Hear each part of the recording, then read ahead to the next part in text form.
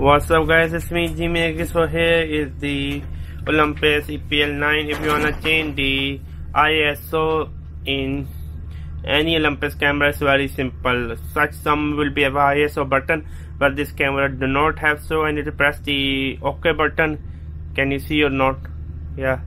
So I need to press down the OK button and then I I can go up or down.